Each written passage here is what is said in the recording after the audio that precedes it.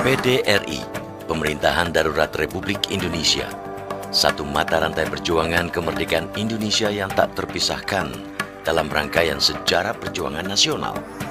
Sebuah pemerintahan darurat yang terbentuk dan dipimpin oleh Syafruddin Prawira Negara di saat pucuk pimpinan Presiden Soekarno ditangkap dan diasingkan pihak Belanda.